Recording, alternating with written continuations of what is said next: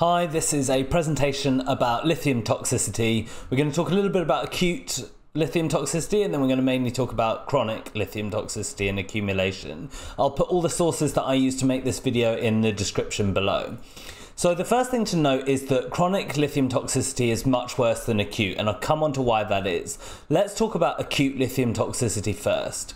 So these people who have acute overdoses of lithium, as long as it's less than 25 grams, almost always do very well with minimal medical intervention. This is because lithium takes a long time to equilibrate between the blood and the brain. So when you take an acute overdose, a lot of the lithium will get cleared by the kidneys before the uh, lithium has a chance to build up in the central nervous system and cause toxicity.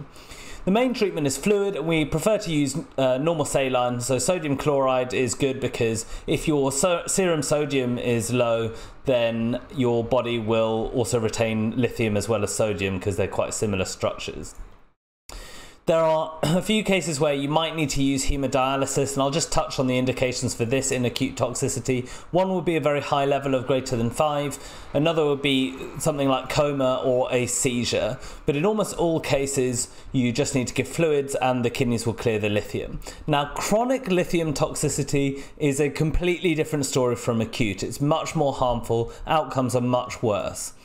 The causes are various things that affect uh, lithium clearance. The first thing to note is that it might just be because of a recent dose increase. The second one is that we might have had a new uh, nephrotoxic medication started, like an ACE inhibitor or a non steroidal anti inflammatory.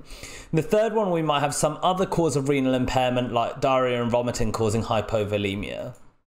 And then finally, we get this phenomenon called nephrogenic diabetes insipidus. And what happens is the lithium basically causes the kidneys to be less sensitive to ADH and they become less good at retaining water. And so you get huge volumes of urine produced uh, each day, say three liters or five liters. That's normally okay if the person can drink enough water to replenish that fluid, but if they can't, then it's a big problem. Now, the higher your lithium level is, the worse it is for you. Any level that is greater than 3.5 millimoles per litre is suggestive of a severe toxicity. The reason why the level is more important in chronic lithium toxicity is that the level in the blood is probably the level in the brain. So, what are the effects of lithium toxicity? Well, most of them are in the central nervous system. We could start with a tremor. We also might get hyperreflexia, ataxia, we get rigid limbs, we could get drowsiness that progresses to confusion, coma, uh, seizures, and then even death. So those are the central nervous system effects. We also have a couple of cardiovascular effects to be aware of. One of them is bradycardia, another is hypotension, and then the third one is QT prolongation. Coming on to the GI effects, we basically just have nausea and vomiting. So that's all the main effects of lithium toxicity. So what is the treatment for chronic lithium toxicity? Well, the first thing is fluids, and again, we prefer normal saline because the more sodium you have, the less lithium you retain. Once you've been giving saline, you might need to start thinking about dialysis, especially if the level is high and they've got signs of toxicity. We're aiming for a level of less than one millimole per litre, and you've got to be aware that you get a rebound uh, increase in the lithium levels.